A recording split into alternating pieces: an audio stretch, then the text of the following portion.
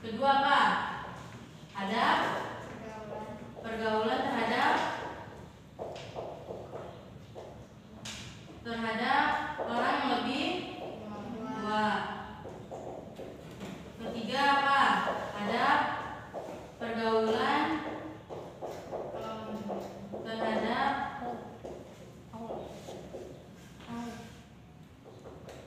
yang muda. Dan terakhir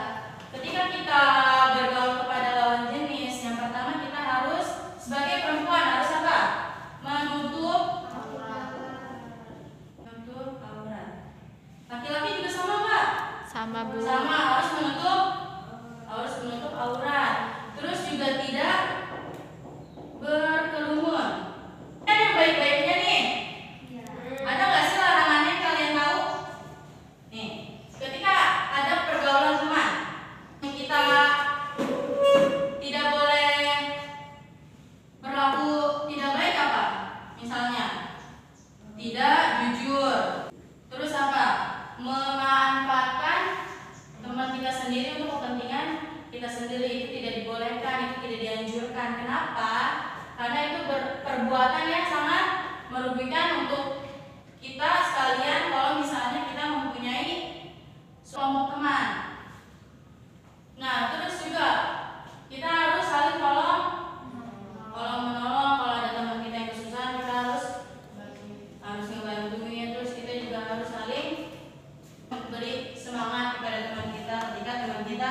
Selam